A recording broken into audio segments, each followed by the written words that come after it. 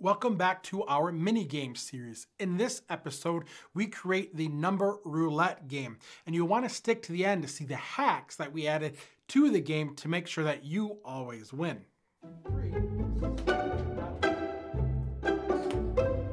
Oh, that is horrifying. The number roulette game is actually quite simple. The IR turret selects a random number between 1 and 9, and then you pick a random number between 1 and 9. And of course, if you both select the wrong number, you lose the game. It's that simple. And it makes it even easier because the IR Turret Arduino, the microcontroller, has a built-in function called random.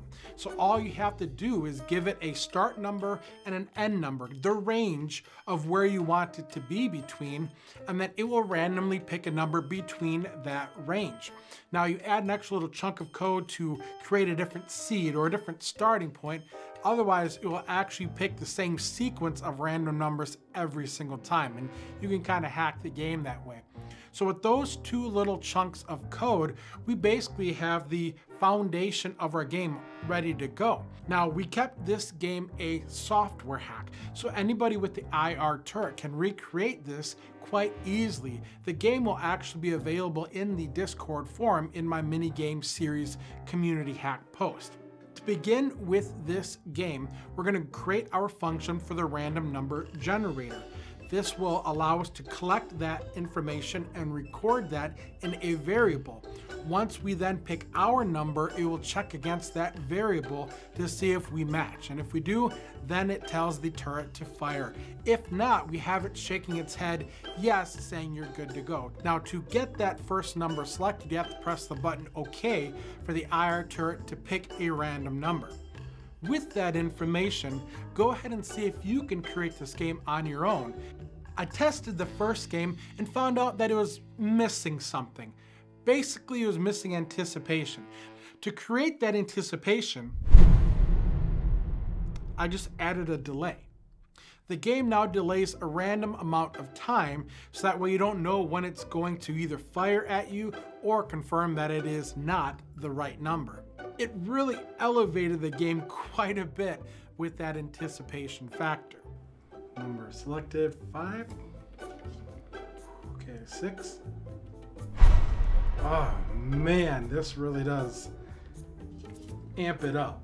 Oh. The game is created, but it's missing something.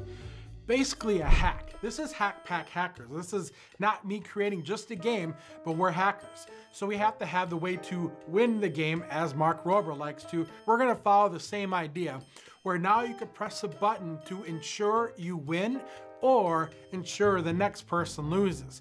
So I coordinated two different variables that are just booleans to see if I wanted to start the prank, either the lose prank or the win prank. And so by pressing them, I guarantee that the next number pressed either wins or loses the game.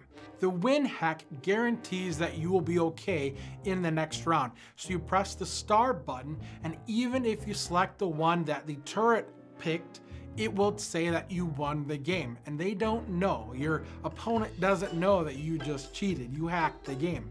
Now the other way, if you press the hashtag button and then hand it off to your opponent, they will lose, they will get fired at even if it's not the right number.